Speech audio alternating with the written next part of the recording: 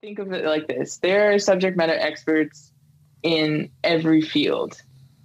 And pe- white people consistently think that every black person is a subject matter expert in race mm-hmm. which is not true. Like i particularly at some point i don't consider myself a subject matter expert yet but i will be. And that's why i'm willing to have these conversations. That's why we see people on Instagram who are having these conversations, are putting out this content, and the same in corporate spaces and fitness spaces. Like those are the subject matter experts. That's why you can ask them. But if it's if it's your friend who is just your friend, that that there is no rite of passage passage per se to just because you're black, just because you're BIPOC, I'm going to ask you this question. At Active Life, we believe that the healthcare clinic of the future is the gym. Everybody starts with the best case scenario in mind. Never sell anything to anybody who is not in the market for what you have. The only reason we work out is to create the opportunity to recover. And the healthcare provider of the future is the coach. And this is why you guys need to get paid well, because what you're doing is really, really hard work. Taryn Pascal, welcome to the Active Life podcast. Thank you so much. Can I can I tell you a secret? Yeah. This is the only podcast that I have been even borderline nervous for in really? since since like 2017 when I first started. Wow. you know because you you know why it's um, when we first spoke, you were so helpful and so forthcoming and so good at, at holding space for the areas where I need to learn more. Mm-hmm. And now we're here talking about it, the things that we're going to talk about publicly for our audience of thousands of listeners to hear. And we're talking about things that are touchy, you know, yeah. th- things that, um, you're going to give me what you believe the best answers are and that other people are going to say that's that's the wrong answer and that other people will probably judge me for even asking. Possibly yeah. And, and, and that's why i feel like we must have this conversation. I 100% agree with you. So i would love to kick it off by just briefly if you could explain to me where your background comes from as a diversity recruiter. You know you don't just get to be not Caucasian and call yourself a diversity recruiter. So how, how does that work? What is that? What is the purpose of even having that job in a business? Yeah, that is a great question, and I would actually disagree because there are a lot. There is actually one Caucasian person on my no, team. no. What, so what, you, I wasn't saying you can't be Caucasian. I was saying you don't get to show up and be like, "Hey, I'm black, so hire me," or "Hey, I'm Asian, so you know I know about diversity and recruiting." No. Very true. Yeah. So I started my career, um, I have a hospitality management degree. So I have always loved connecting with people, and that really translated into actually helping people. And my way of helping people is really letting them tell their stories and trying to inspire them and really understanding that you are capable and worthy of being in any space that you occupy. And that, of course, for me, being a biracial Black woman is huge because I grew up in a white, a predominantly white area, which I never even knew like curly hair was a thing, that braids were actually attractive, like all of these things. So, actually getting into a career, I knew that diversity had always been something that I promoted, but I didn't realize I was doing it until I got into the corporate space and uh, ended up getting this position last November, actually, November 2019. So I have been in this space ever since then, and that has now grown um, to me sharing my stories to um, not only the corporate space, but also the spaces, the other spaces that I occupy, which are fitness, weightlifting, CrossFit, all of that. So yeah. Is there an education requirement to to fill the role of diversity recruiter? For this specific role, no, and I don't necessarily think that that is where there is people have different different like feelings because I don't have a degree in uh, race and equity, um, but there are people who definitely do have those degrees, and they usually become diversity consultants or diversity and inclusion leaders. Um, but you don't. There's an education background that you need in the sense of like you need to know what white privilege is. You need to know that there is disparities within all uh, spaces that are created in the United States or have been created in the United States and the world. But like as a formal education, not so much. Okay. So I like to say C's get degrees and degrees don't equal careers. So, yes, I like so, that. I mean, whatever. I was just curious if there was like a specialized education somebody can go through. So what I want to I want to set the framework for everybody for what I what I intend to hopefully get out of this conversation with you. When I say get, I know it sounds selfish, but I mean for everybody who's going to listen. And yeah.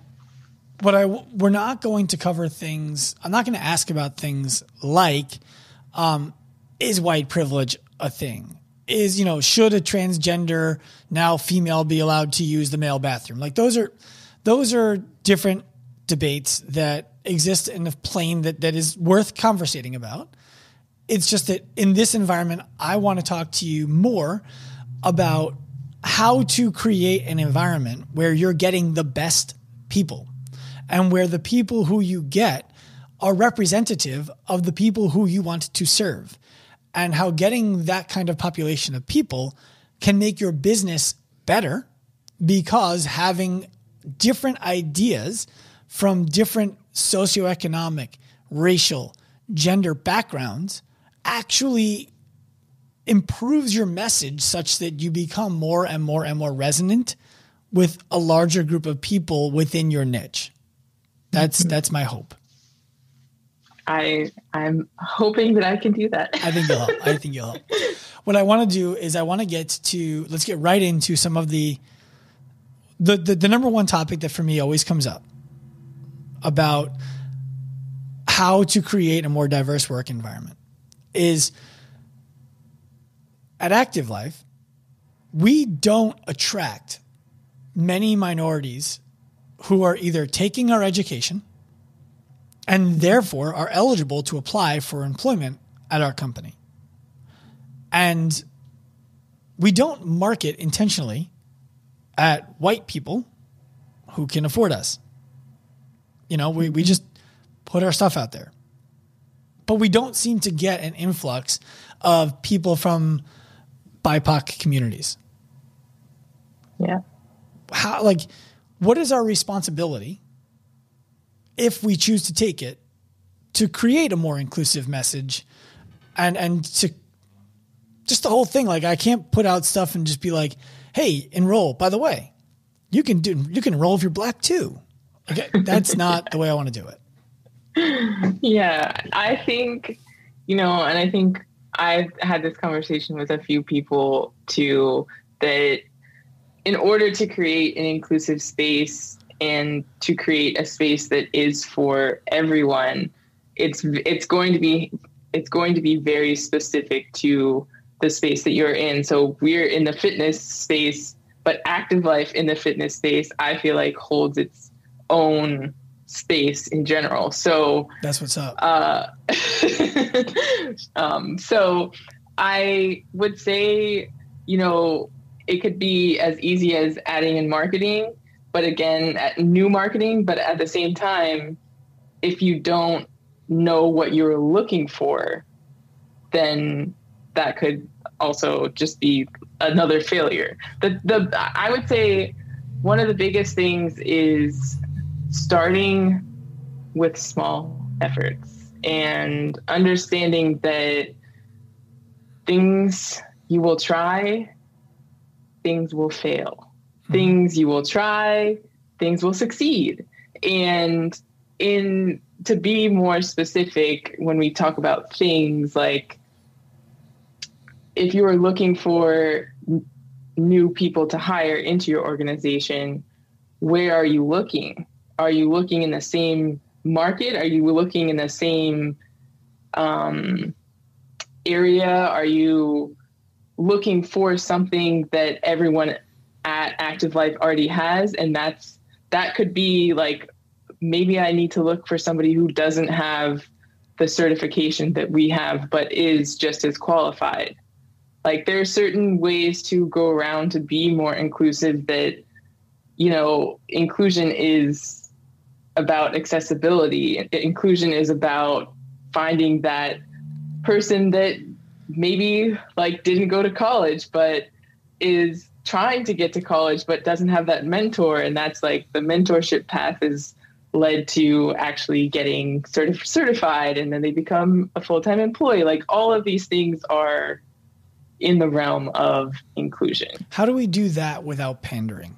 And and what I mean by that is this: uh, we've we have since the beginning of time featured black women, especially uh, in our marketing, because one of the best coaches who's ever worked for me was a black woman.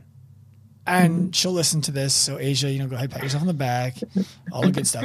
But and and she's she's exactly the aesthetic that that people who are looking to work with us are attracted to. She's she's an attractive female who's fit, and it just so happens that she's she's black. And if she wasn't, we would probably still use her. You know what I mean?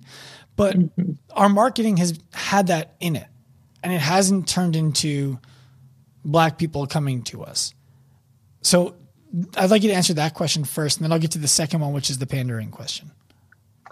I would say you mention a certain aesthetic that in itself is is something that could change because I if I use myself as an example, I am a five nine uh, biracial athlete, but I don't have the typical aesthetic that is used for the fitness space per se.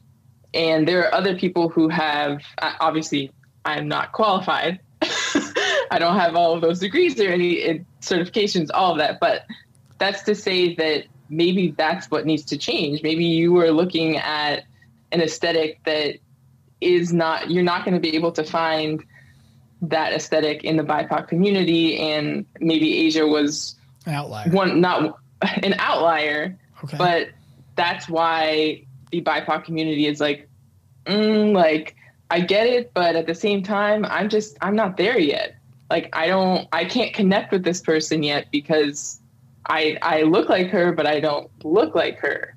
And that that's like the biggest thing when we think of how the rates of obesity and everything within the BIPOC community is so high and we think it's so easy people, like companies think it's so easy for them to just go into the fitness space like they don't feel comfortable because they don't see people i mean now it's better but two years ago five years ago they didn't see people who look like them and and that like that's a disconnection there there's no inclusion in that so maybe it's the aesthetic that i think i think what you're speaking to from understanding is more diversity within our diversity like it's it's yes. great to have Asia prominent in our marketing. It would also be valuable to have for other people. Yes. Okay. Um, okay. So, in regards to the the intern moving up to the the paid role, you know, getting the certification through the internship, if not through more diverse marketing, mm-hmm how do we get the intern? Because I'm all for that. And, and, and what I've done in the past and what we do now at Active Life still just much less prominently because as we're growing, it's becoming less and less, um, some less and less controllable. And we're, mm-hmm. we're going to get back to it and prioritize it.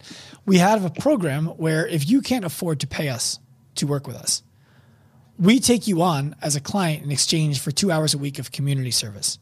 wherever you choose to do it. So that the barrier to entry is not necessarily financial, but effort. And I've gotten both praise for that and criticism for that. And the praise I've gotten for it is that's really cool that you would create that opportunity for somebody. And Yeah. the criticism I've gotten is that person doesn't need to be um, further beaten down that they need to go and do something above the potential 60 hour work week that they're putting in to not be able to afford to work with you. And I'm just, it's a tough spot for me. And then the other thing is, I don't want to assume that black people fall into a category of can't afford it. And it's not just black, it's Asian, it's Latino, it's it's you know, gender fluid people, all of that. It's not about money necessarily. I'm just pointing to the fact that we have an accessible pathway in that we haven't seen people who would lack the financial means to access utilize. Yeah. Um, can you repeat your question? How do you get the intern? How do you get the intern? Like, like I, I don't want to Um, walk into the. Pardon me if this is an, an inconsiderate thing to say. I don't want to walk into the MLK Center in my town and say, "Anybody want to intern?" Yeah, that that would not be a good idea. Um, I think this is this is where it gets tricky, and this is where it really becomes a a strategy. Like you can't, like you said, you can't go to the MLK Center. You can't just say in your marketing, "We're looking for Black people." Like that is not going to bid well for anyone. Um, but it's it's you can. I always like to make the connection of affirmative action. Like there are people who do appreciate affirmative action in the sense of uh, in colleges and institutions being able to utilize the fact that you know we and I when I say we I'm talking about black people um, I should say I for myself in particular um, do really appreciate affirmative action because that does that would give me the opportunity to join active life um, and let me better explain this. Affirmative action in the case of marketing for a new intern would be we at active life are an inclusive and we, we're an inclusive company we are looking to hire a more diverse workforce. With that being said, we are looking for people who are, and those like those terms that follow who are are very have to be very specific. They have to be looked over. I always say it's better to include somebody from legal to make sure that it makes sense and that is like I could I could tell you what you could write, but I also don't want to tell you because at the same time, like it still could be, Yeah, I follow you. it, you know, What, why is that such a sticky topic? And, and what I mean by that is, if I'm if my intent, the intent is there, you know, it's I'm trying. If I'm trying to do the thing to create the diversity amongst our team, both mm-hmm. within our staff and within the people who are taking our education, and I use the wrong words to get it out. Why is there judgment for using the wrong words to try to do the right thing instead of, I'm not saying from you, instead of support to say, I understand what you're trying to do there. Maybe let's say it this way instead. And then it doesn't become such a big barrier for a company to say, hey, we're looking to, if I was to put that out, my language would be, we are looking to expand our team and we want to grow our team by finding the best people. And we believe that the best people exist in multiple different cultural backgrounds, race backgrounds, gender backgrounds. And we are looking for people of all different race, gender, and cultural backgrounds to join our team. If you feel like you would be a good fit for the team, please apply here. And th- like I would say something like that. And it wouldn't be right, and that's okay. But I believe that there needs to be acceptance for intent and then improvement Otherwise, the barrier just becomes, why am I doing this? Like, why does it have to be so hard to tell somebody I want them to come and work here? Yeah, and it's uh, that is a good question, and I I believe that as a black com- as the black community, the BIPOC community, like we there are some people that will appreciate that effort because they feel seen. They're finally like okay this like you do you like i am a part of this. You do want me to join this company and all of that. But there are also people who for whatever reason and their reasons are always valid they just don't agree with it because I, I would say because they don't it shouldn't have to be said that we are looking for people of different races, mm-hmm. uh, genders, all of that. I agree. And and I, that's where it's like, but I'm right. trying. Like I, that's where it's it's difficult, and that's where like there are going to be people who agree with you, and then there are going to be people who won't agree with you. But I think overall, the people that are agreeing with you, those are the people that you are wanting to attract in the first place. A hundred percent. And the people and, who would, who would judge us for it, I'm like, look, we're the wrong place for you. The, exactly. The, the, the part of me that second guesses that is the part of me that says the reason we're looking to hire this, this demographic of population and not one, but the specifically non-specific is because we don't know how to say that message properly. You know, and it's like, well, we don't have enough influence within our company to put that out in a way that has people saying that's the right message. And so would I be making a mistake to just say, well, look, if you don't fit what we're trying to say here, you're not going to be a fit here because the point is trying to expand what a fit here looks like.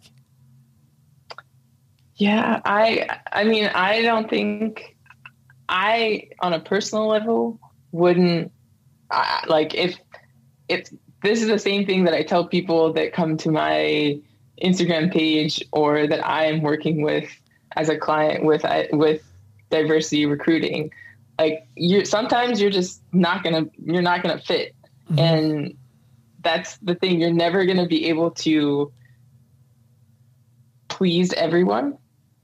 And in I think your overall message of I'm trying to make this a more diverse and inclusive space was productive and seen but them in particular like that person is just not gonna like they they will see that message but at the same time they're like well this is just not for me which is not a bad thing. Right. Because you know. Yeah yeah I, I follow you. i mean it's i think if i made a message like the one i just described it'd be difficult to say he's insensitive he's misogynist. He's white power. like I think it'd be difficult to say that, but I, I, you know, look, this is one of the topics that I, I think is important because I really don't understand it well enough mm-hmm. to stand on a on a stage and talk about it. And I participate in an industry that I think is especially in need of improving their ability to to be an inclusive space. You know, every, everything from bro culture in the gym that repels a white woman, you know, to um, just the lack of representation from a variety of different populations. And I've been making some content recently around uh, diversity of body type as mm-hmm. coaches in the gym. The idea that you're not looking for some, like, what does fit look like? If that person all of a sudden gains 15 pounds, are they no longer fit to work in your gym? Like, where's, mm-hmm. So so we'll put that aside and put it in a little bucket. and we'll um, the pandering thing. Mm-hmm. I want I want to make sure that we avoid doing that, and and that um, it's never it's never seen as that because to me, the truth is the reason why I would want people from BIPOC communities to come and work at Active Life and to take our coursework at Active Life is selfish. I want to make our company better. I want to make mm-hmm. our material better. And I believe that that's a good way to do it. Uh, the the thing I want to avoid is speaking on things that I don't have real clarity around. just mm-hmm. so that I can be supportive of a community. And and I'll use um, the events of the summer as as an example for you to kind of help me out with this, if you will. Mm-hmm. Do you put up a black square? Do you not put up a black square? Is it enough to put up a black square? Is it not enough? If I don't put it up and I say something, but I say the wrong thing, is that worse than not saying anything at all? And all of those things start to go through my head because if I do the wrong thing in that moment in an effort to demonstrate support for a movement, I could sabotage our company and make it more difficult for everybody who works here and enjoys what we do to enjoy what we do. Yeah. how do you toe the line? See, and this is where this is a topic that is where being genuine and authentic is and and listening to listening to I would say your voice, but listening to your heart. Like if you nobody I initially thought in the beginning that it would be good to do the black square, but then I read the message that was behind it and realized that that was not the right thing to go to do because that was just not amplifying the voices that should have been amplified. So, in any situation like that, it's the first thing is remembering that it's not about you in that moment. It's about it's about somebody else. It's about others. And remembering that okay, if this is not truly about me, then how would I want to make somebody feel? If this is if if I'm posting something or if I'm making a statement somewhere, I'm envisioning talking to my dad.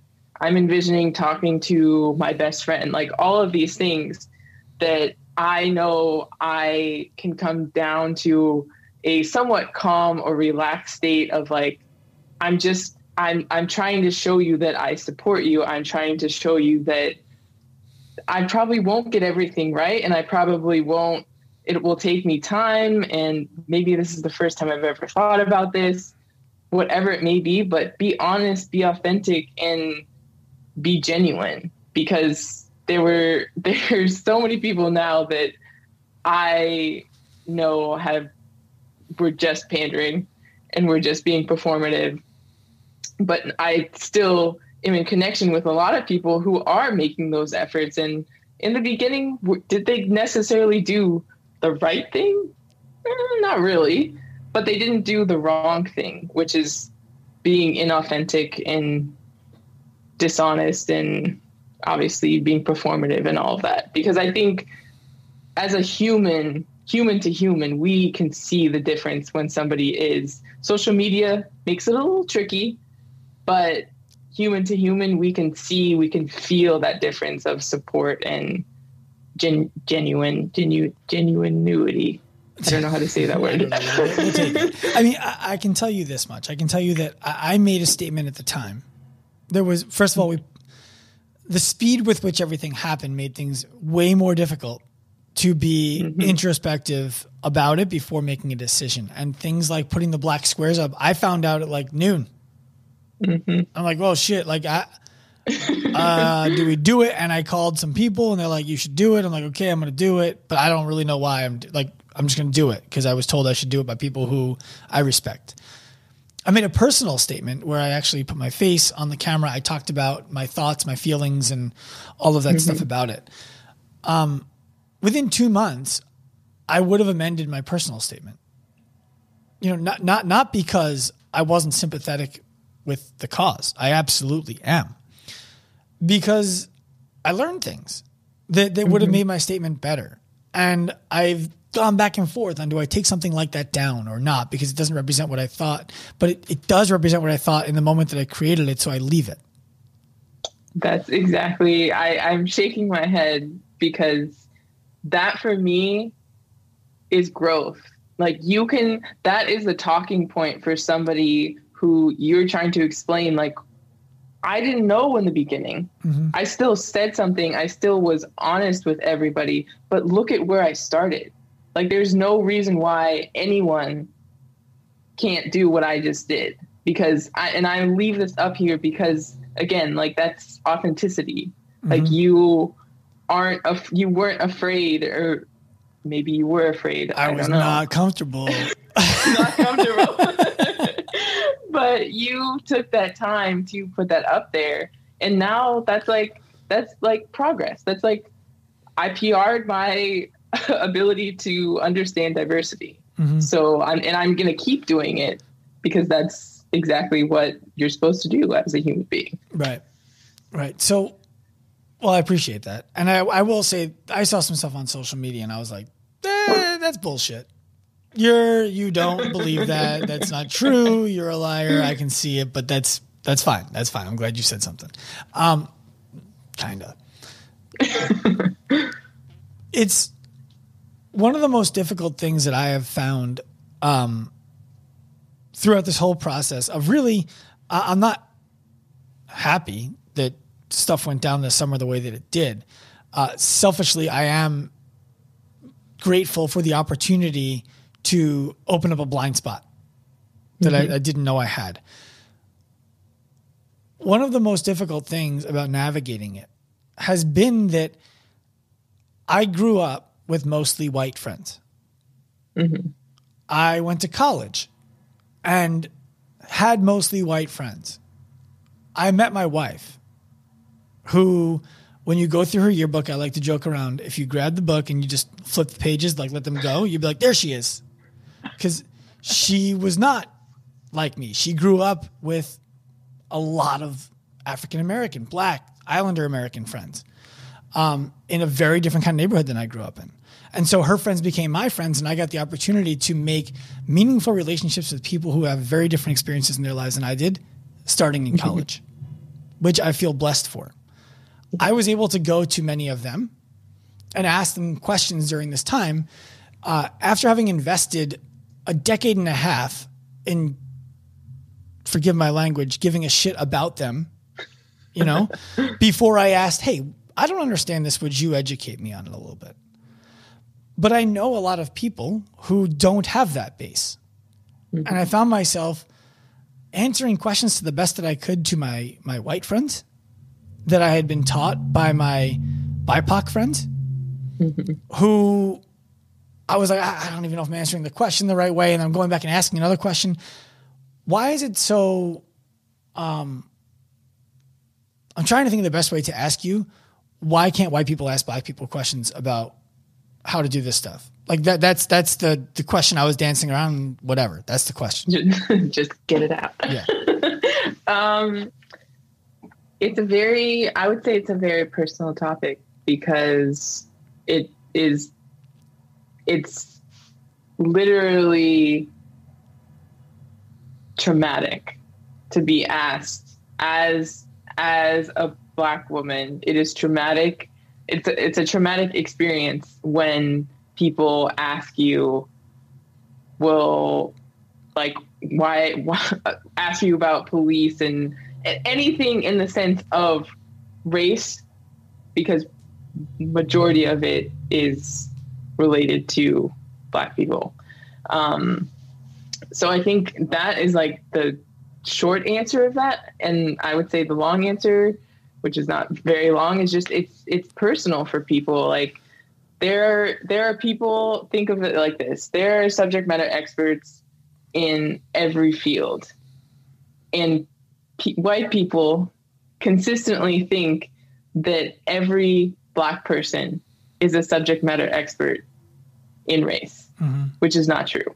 Like i particularly at some point i don't consider myself a subject matter expert yet but i will be. And that's why i'm willing to have these conversations. That's why we see people on instagram who are having these conversations are putting out this content and the same in corporate spaces and fitness spaces like those are the subject matter experts. That's why you can ask them. But if it's if it's your friend who is just your friend that that there is no rite of passage passage per se to just because you're black just because you're bipoc i'm going to ask you this question. Like it's just But is it is it, is it bad to be able to say, hey, why does this make you feel that way? How, how else are people supposed to learn? Otherwise, they're looking at like they're they're on Instagram and they're seeing people who are saying what they believe, but there's no connection there, right? And then when they ask the person who's speaking on it, it's like you need to go learn. Well, I'm trying to learn. That's why I'm here. You made a statement. I'm asking you a question about your statement. You're telling me to go learn. Where the fuck am I supposed to do that? there are a lot of resources that people people that response is well you're supposed to learn. That is a response because they're they don't again trauma is intertwined in these questions. So they again and also as a black person we shouldn't have to again i'm a subject matter expert but as a black person bipoc person like you some some people i grew up in a white neighborhood so at some point i didn't even know what white privilege was and any of that.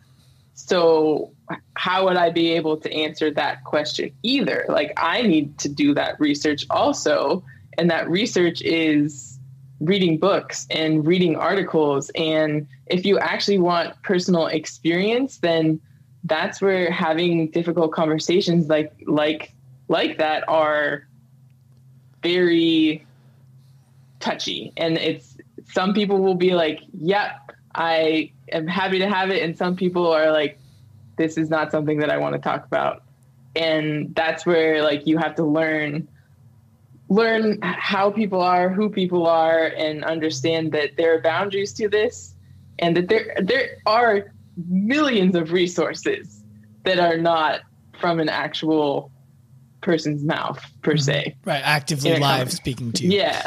So, so Taryn, just a genuine curiosity question: Do you get pushback from the black community because you grew up in a white neighborhood where where there's this thought of like you don't you don't even fully understand it, you can't be speaking to people about it? That I mean, I haven't. I would say I received that more growing up because I grew up in a white community. My mom is white, and I would go to. I only really we were like one of six families in our neighborhood. Outside of those, outside of our little city, there were more. Uh, there's way more diversity um, so when we go to those uh, cities for basketball games, baseball, all of that, then I never felt comfortable because I never felt like I like the first time I ever saw a black person, it didn't really hit me like in that moment, but I think back to it and I'm like, I was like so uncomfortable trying to figure out what like there are other people that look like me, but like I still do I I don't look like them like exactly. Mm-hmm. And I know that my mom is white and I I know that they are darker than me. Does that make me like what does that make me? And that's like something that I've had to learn and accept throughout my 25 years of life because I am black and I choose to identify as black because when you see me on the street, Yeah, you you look black. I look black. so I wouldn't say I'm actually surprised that I haven't gotten any as I've started being more active on social media and everything, but I also am very conscious of recognizing and acknowledging the privileges that I have because I do have so many more that uh, full black people don't necessarily have. Mhm. So I think that's also why, but it's it's it's a daily it's a daily challenge for sure. Well, I ju- I just think it's such a um, such an interesting spot to be. You know, it's it's it's the idea of um, I was curious if there's a purity test, if you will. definitely definitely it's I would say it's more internally sometimes than it is externally, but like I question I question myself like can I even post this? Can I like just saying that I identify as a black woman for the first time was like Right. I don't know how this is going to be received. Well, we we have um, it's different. It's Mm-hmm. similar and different in the Jewish community. Oh yeah. You know, if if you're if you're talking about a a Hasidic Jew, for example, I'm not even Jewish. Like, forget about it. I'm I'm not even in the class. Orthodox Jewish people, it's it's and I'm of course I'm generalizing, but when you're looking at an Orthodox Jewish person, it's like I get that you're trying and we think that's really sweet and cute, but you're not really practicing Judaism. And it just keeps on going down and down and down in, in the devout level. Um, and it's just it's interesting. Like the, the the purity test to me there is interesting. And and Yeah. of course the the biggest difference for someone walking around town like me who who identifies Jewish from a religion perspective is uh you can't guess that when you see Yeah. me. You're not like, oh, that guy's Jewish.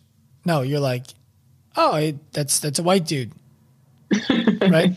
So, the next thing I wanted to get to was, are you familiar with the Rooney Rule in the NFL? It's basically the NFL's affirmative action uh, for coaching, and the the rule is, or in front office, in order to hire somebody, you must interview a minority candidate.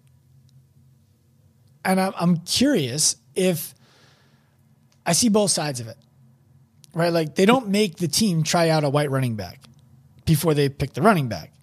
Um, and there is a, I don't know, 31 to 1 ratio of black running backs to white running backs who are starting for teams in the NFL. I don't think that's I don't think that's a racist thing. I don't think they're like, oh yeah, let's hold the white guy down. Don't give him the rock. But you follow what I'm saying. So in the front office, it's you must interview a minority. I go back and forth because I feel like um, you will be exposed to people who you otherwise never would have had the opportunity to expose yourself to. And the NFL has enough pull that you're not going to have a problem finding somebody to interview for that job uh, of any color or background. At the same time, what I want to like if it was a Jewish thing, like you must interview one Jewish candidate? Do I want to be the Jewish candidate who's like, I know I'm here as a formality, like you got your guy already? Is that pandering? That I at first I've never heard of that rule, but I don't know that much about the NFL. So I yeah, I would I would consider that pandering Okay. because that that's where people people like to think that that is also reverse racism yeah, by saying which is a is another there's, is there's another a, whole there's, there's a thing. def- there's a But- definition issue there, but I, I follow. It. yeah i yeah i wouldn't want to be knowing that I, that would probably deter me from wanting to be in the nfl if that was ever a goal of mine right. but yeah i don't I was just curious. You know, I, I think the other mistake that um that I want to try to avoid is hiring somebody of color or of gender um, diversity or religion or anything, and then explaining to the team, meet our new staff member. Oh, what made you just have to hire them? They were pretty qualified, and they were black, and we're low on black people. yeah so so like it's it's just it's hard i don't know how to like if if, if so let, me- let me let me give you two in a different way when we hire coaches for our team for example we want them to not only have been through our education because they've gone through education and they know it. But because it means that they identified our education as something that they believe is important and valuable and therefore invested their time, their money, and their energy into gaining it, mm-hmm. as opposed to somebody who is looking for a job. yeah. And it's really hard for me to detach myself from that and say, well, we need to bring in more diversity because I think that we should. Not to suggest, by the way, we're not on, uh, you know, look at the roster white, Like, but um, but it's not far from that. And so, I just I don't know how to get that thing started. Like I don't. I feel like we're two or three years away from having critical mass of people having been through our education because of our inclusive marketing outreach who then qualify for internship or entry level job who then climb our ladder. The only exception to that is we just we just did interviews for our sales team, and I did have the, the pleasure of interviewing um, a few people who were of black origin. In fact, I offered one of them the job, and she turned it down. I thought she was the best candidate that we got, um, um, but what are you gonna do? uh, so, like, wh- how do I speed that up? It's I don't want it to take two or three years, and I also don't want to bring somebody in who's less than qualified but has potential, but never went through our education because they didn't find it to be important. That is the biggest thing. People want a diversity strategy that's going to be expedited, and that's it's not going to be possible, especially if it's the first time it's ever been brought up. So would we be And- better? I'm sorry, I, I cut you off. I shouldn't have. No, you're fine. Um, I, in in like, in reference, if we are thinking about corporations and organizations, you can't, you will never like that growth that you were looking for shouldn't be immediate because that that is then where pandering Right. and That's how it feels. performative yeah that and uh, performative uh actions Yeah. actually people people don't think we're doing such a good job. We're making less money, but we do have some black people on staff. Like that's that's exactly. that's how I want to Like- go with it.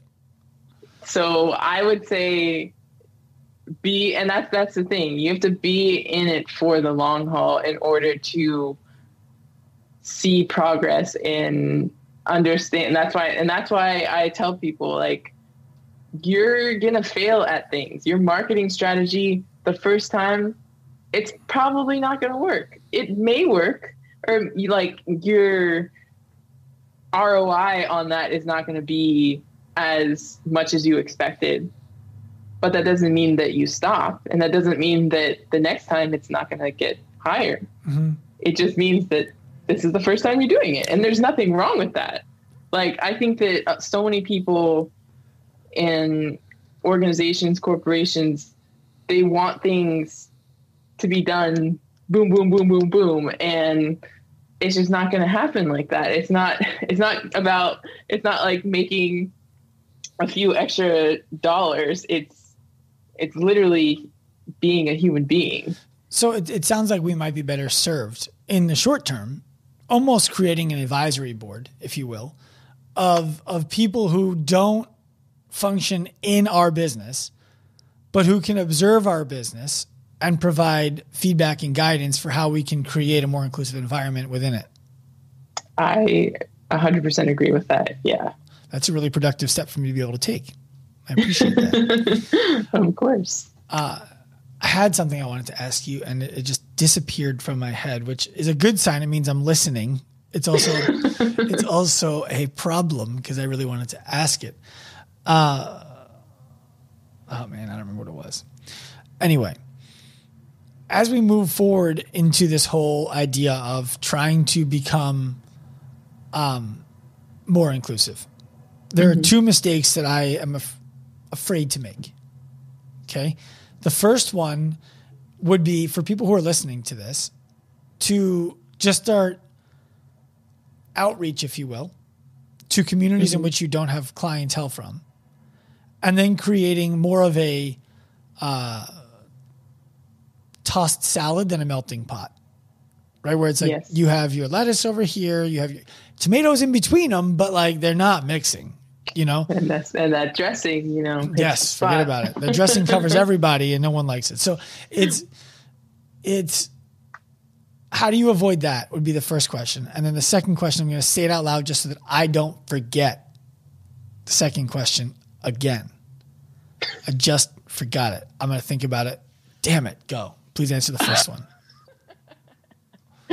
um and i just forgot your first question Ah, I remember the second one. the, the first question was how do you how do you avoid uh, creating the the salad the mixed the mixed salad instead of the melting pot as you start to bring diversity into your organization, oh whether that's a staff um, or as clientele. I would say, like you mentioned, the council. I'd also just, I was also just thinking about why not find some stakeholders, some gyms that can, some gyms, companies, whatever it may be, that would be more most effective that do already have a diverse member base. Well, so so I, I love that, and I just just because I know you're up against the clock, I want to make sure I ask you the follow up question to that. I want to sell it to them. because I don't want to be like, hey, we want to gain influence in black communities in the case that I'm thinking of right now, which is your friend who you connected me to to help us make our story more inclusive when we tell it at our seminar. I want to sell her our service because I believe that her gym would be better if she bought it. Mm-hmm. Um, but I don't want to go there and be like, hey, I want to expand our diversity. And in doing so, I also want to make your gym better. You should buy our program that that just comes across disingenuous. The reality is, I think every gym should buy our program. It just so happens I'm now talking to somebody with the expressed intent of expanding our diversity. I would say, I mean, I think, I don't think going into that conversation with the idea that like like of not mentioning diversity would be a bad thing but i do also go back to that feeling of are you creating a partnership because it's for you? Or are you creating it a partnership because it's for others? For others. Like but but I, I like the way i feel about our sales is that it's not for us. You know we we don't sell anything to anybody for us. We sell it to other people because we believe that the fitness industry will be better if other people take this education and their lives and their gyms and their clients' lives will be better if they allow us to educate them? Then I don't know. I would have to think about that because I can see why that would be problematic. Like I see why I mm-hmm. I hear it and I feel like it's not genuine, but I know the oh, intent genuine. of I, I, I know. I, I promise you, I could life. I could shut down this company and do other things and make a million dollars a year personally, and never have to worry about my own money, my own family, any of that. Instead, I'm pursuing this crazy thing that is extremely difficult, stressful, oftentimes, um, because I think it's necessary. Yeah.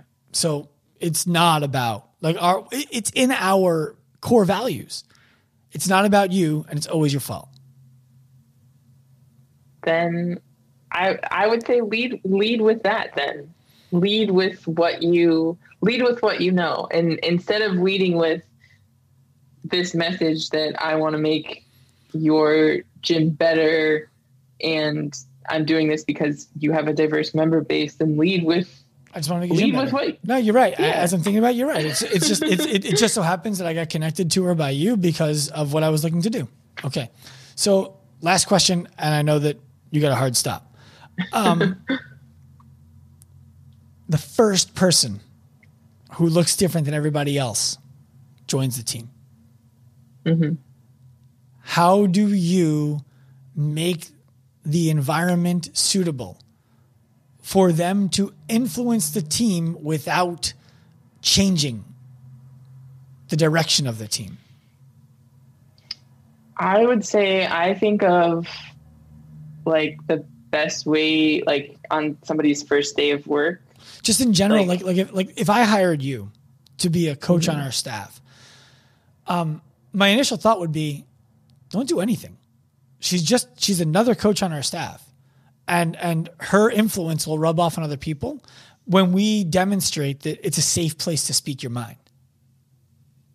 That's my yeah. that's my thought. I just want to make sure that that's the right way to I, go about it. I wouldn't say don't do don't not do anything because I think that there's you still need to do something because initially like if I'm thinking of me walking into a space that is all white I'm not going to be my whole self mm-hmm. because I don't feel comfortable being my whole self. And so that's when like there are things that you need to do to make make people more comfortable and like that what? whole like what what can you give me one or two tangible examples because I know what it's not and I can't think of what it is. I would say starting the first day by saying that all of our voices are important and like we what like you mentioned having a safe space like say that make sure these things are said and known and once it'll still take a little time for somebody or maybe it won't i would say speaking for myself it would take a little time but i think initially hearing that like I my voice is important too. Like Mhm. I'm I'm here because I deserve to be here, but I also my voice is also important also and will be heard. Mhm. Like that is very powerful and very inclusive in this if it actually of course you could always say things, but if you actually do them, the action base behind that is Yeah, I think anybody on our well. team would speak to the fact that we we do what we say and we live what we say. Um, okay, I think yeah, I do believe that our corporate culture is such that somebody would walk in and understand that, and, and I do think that we can put process to making sure that that happens every time, no matter who gets hired. Um, Yeah. And then it's just the thing that we do that goes across all things. Uh, one rapid fire question for you because I promised someone I would ask it. What is i- is there an industry right now that has more opportunity than others for more diversity inclusion? I would say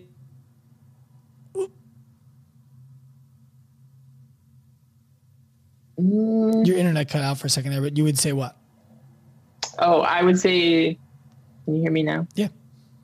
Uh, I would say the fitness space because we're talking about it. yeah. Term, They're and they're all. I will say. I will end with this. Every space needs more. There will never be enough. Taryn, where can people find you? Uh, Instagram, Tar- Taryn T underscore T E E underscore smiles with three S's at the end, and and LinkedIn A Taryn Pascal. We'll put it in the show notes. All right. Taryn, it was it was it was uh, so great to be able to have this conversation with you. So refreshing, and I believe so valuable. And I appreciate you making the time and the space for me to do it. Thank you for having me. I hope you enjoyed this episode of the Active Life podcast. If you did, please be sure to head to wherever you listened to it and give us a quality review, as well as five stars if you can spare them. If you want more from us, feel free to follow all of our social media accounts at Active Life Professional, Active Life RX, and Dr. Sean Pastuch on Instagram. Remember, at Active Life, we believe that the healthcare clinic of the future is the gym, and the healthcare provider of the future is the coach. We also believe that that future is now.